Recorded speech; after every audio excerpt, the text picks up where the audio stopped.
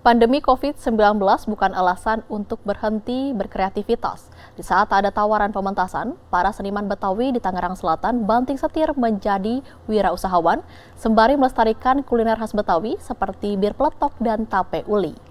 Lape parut ambil santannya. Iya. Nih hari abang none cangcingnya baben yang baru pada datang. Kalau ayah boleh tahu nih apa pada maksud dan tujuannya oh. bang. Abang bilang buang sekuteng di rawa gantang, lape parut ambil santannya bang. Iya bang. Itu kalau anak wesan kepejatan beli selampe.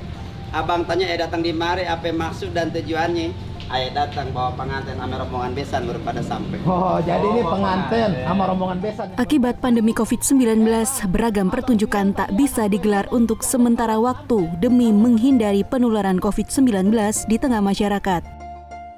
Tentu saja hal ini berdampak bagi para pekerja seni seperti para seniman Betawi dari Yayasan Beksi Sangyang Putih Tangerang Selatan seperti Jaini bin Mursin atau Krab di Sapa Bang Jai.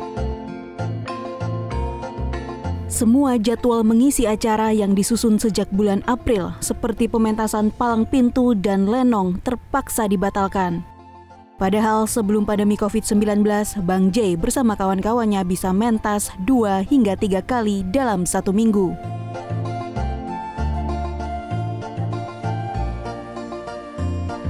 Mencoba bertahan, Bang J berwirausaha sembari turut melestarikan kuliner khas Betawi, bir peletok usaha yang sudah dia rintis 10 tahun lalu dan kini lebih dia seriusi terutama akibat banyak diburu pembeli karena beri peletok mengandung jahe, serai, dan rempah. Karena dalam kondisi seperti ini, palang pintu tidak bisa ditampilkan karena tidak ada yang manggil atau nanggap bahasa Betawi ya.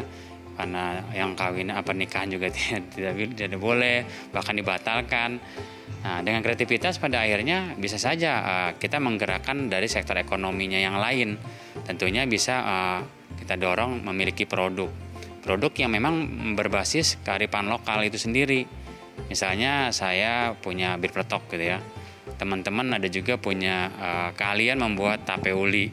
Ada juga uh, membuat miniatur ondel-ondel, bahkan juga ondel-ondel besarnya.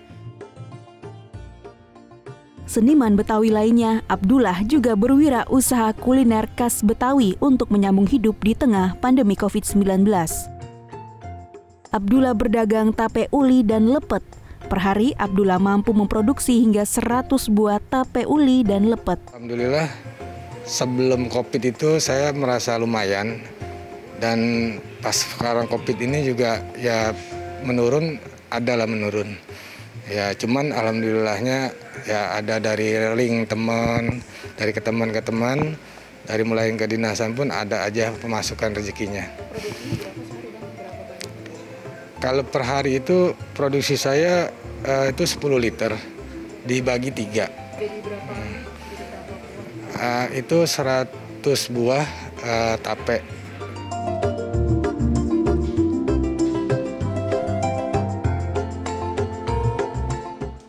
Saat ini, produk rumahan buatan Bang J dan Abdullah turut dipasarkan di salah satu sentral oleh-oleh produk UMKM Tangerang Selatan, Gerai Lengkong.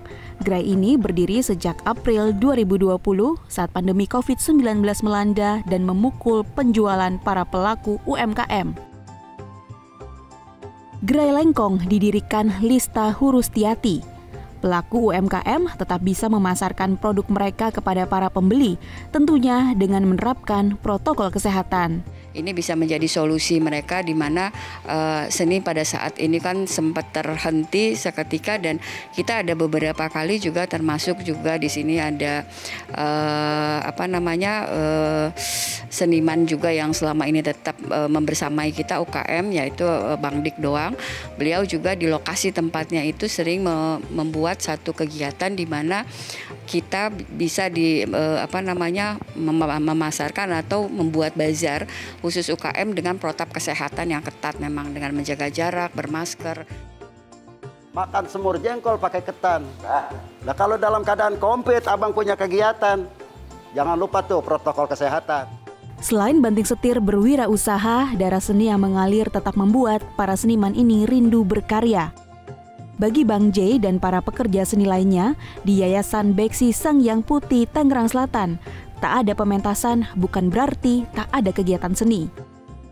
mereka tetap menjalani rutinitas berlatih dengan waktu yang dipersingkat dan menerapkan protokol kesehatan, seperti mengurangi jumlah seniman yang ikut berlatih, serta wajib menggunakan masker selama latihan. Kesehatan kan emang 3M ya, ya memakai masker, eh, apa namanya mencuci tangan dan menjaga jarak itu memang uh, semua lah harus menjalankan itu. Bahkan di suatu daerah tertentu itu bahkan kena sanksi kan gitu. Kalau nggak pakai. Ya artinya uh, kesehatan memang diutamakan ya, uh, saat ini walaupun ekonomi juga uh, perlu diperhatikan gitu.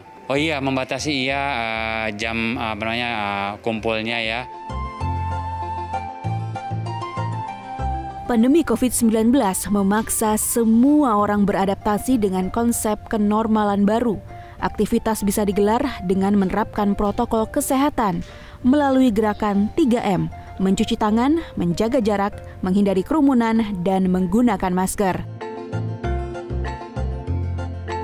Yulia Horisman, Ori Salvian, Jawa Post TV.